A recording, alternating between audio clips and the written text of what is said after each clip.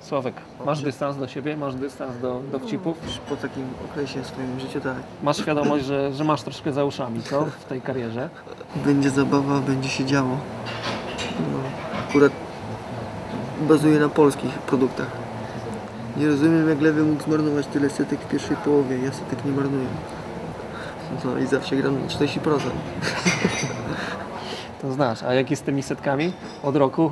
Żadnej? Dwie dziennie. Zmarnowane, dwie strzelone. Dwie. Ale zdjęcia ładne. Kadrze. Koszulka reprezentacyjna. Obiecuję, że grałem w koszulce Lechii, nie zmarnuję żadnej setki. A to mi się zdarzało na stadionie gdańskim. Pamiętny mecz z Niemcami. Marnowane, no. Pokonamy Irlandię, wypijemy Finlandię. Czyli jednak tu by było coś trzeba innego Ale to wpisać. akurat by się nikt nie obraził, jak tak było. Po takim meczu. Peszko do nocnego. Gruby na bramkę. O kogo chodzi? Domyśl się. Ale Kto jest? trzeba zobaczyć to zdjęcie trenera. Trenera Wałka. Peszko do nocnego. Kto to może być ten gruby na bramkę?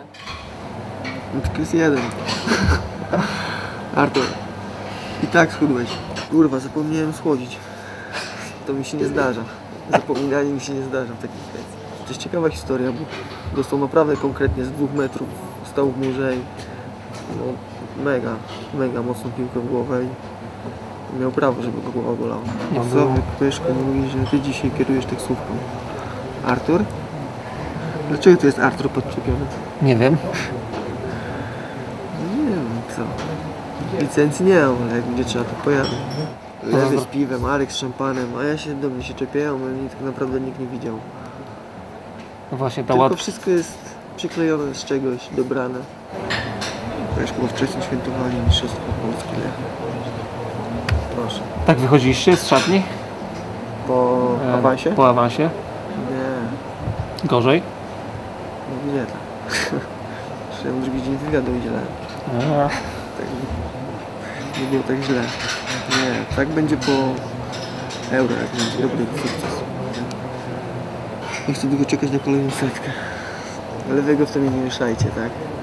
On akurat asyst polewa. nie on strzela. W tyłku korzystnicy Niemców na bliskie piłkarstwo. No, to, znaczy, to było tak wyciągnięte z kontekstu, bo powiedziałem, że chcę upokorzyć w sensie nie to, że Niemców jako naród czy coś, tylko drużynę na boisku, żeby, żeby po prostu z nim wygrać, bo w tym meczu wygranym ja nie grałem. Z Irlandią tak było? Nie widziałem tego. Tego memu? Nie.